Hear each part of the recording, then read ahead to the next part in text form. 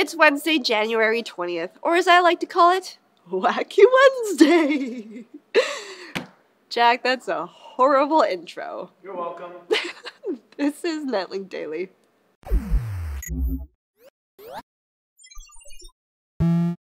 Microsoft has just announced that it's issuing a recall. The product in question? The power cables for the Surface Pros. The reason for the recall is because of an overheating fault found in older models.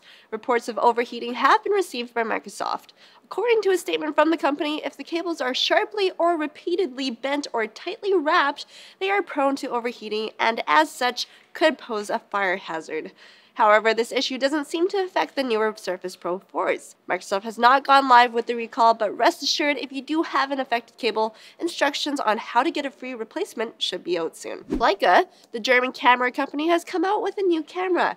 It's the Leica XU. What's so special about it? Well, it's shock resistant, shatterproof, dust sealed, and waterproofed up to a depth of 15 meters. Nice. It's got a 16.5 megapixel APS-C sensor, but for video you only get 1080p or 720p at only 30 FPS. This is quite the departure from the normal cameras they make, but of course there's the price. The Leica XU is $2,950. Last September, Google released Brotli, an open source compression engine that's superior to other compression standards. Well, why is this important? Google will be bringing Brotli into their Chrome browser. This will help with reducing data usage and improving load times. The algorithm is capable of reducing the size of a file up to 26% more than previous compression engines. People who use Chrome Canary already have access to the new engine.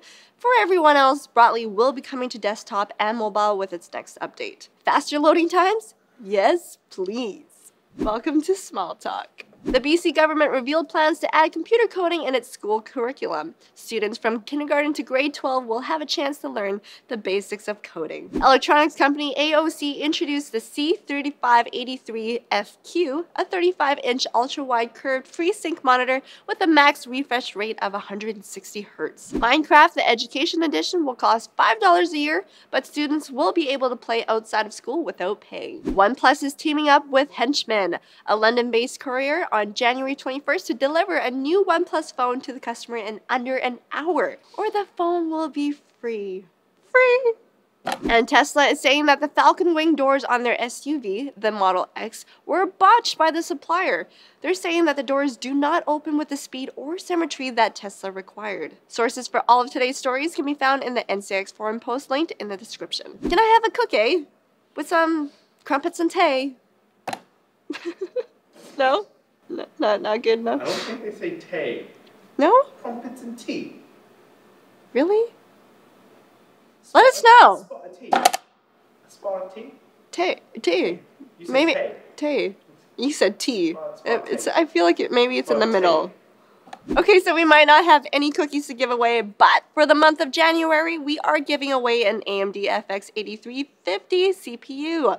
That's right, all you have to do is subscribe to our weekly newsletter for your chance to win this prize. Unfortunately, this is only for the US and Canada.